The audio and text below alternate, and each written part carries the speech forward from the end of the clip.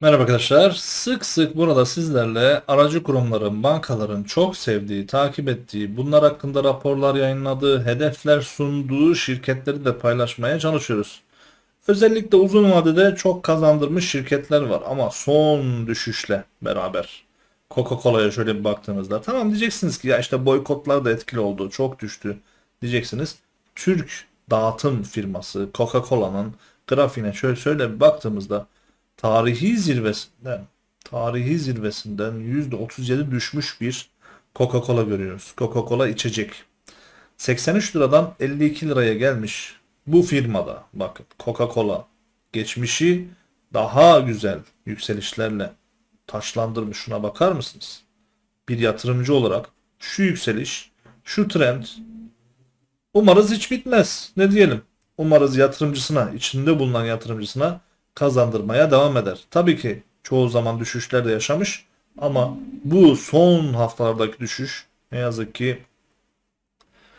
içindeki yatırımcıyı bile illallah ettirmiş durumda. Şu an 200 günlük hareketli ortalamanın da altında 50 günlük 100 günlük 20 günlük hareketli ortalamalar aşağıya doğru kesmiş durumda.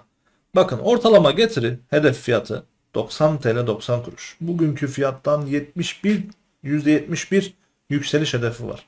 90 TL'den daha yüksek hedef fiyatlar da var arkadaşlar bakın. Oyak, Akbank bunlar hep 90 TL demiş. Şekerbank 90 demiş. Deniz Yatırım 99 TL hedef fiyat vermiş.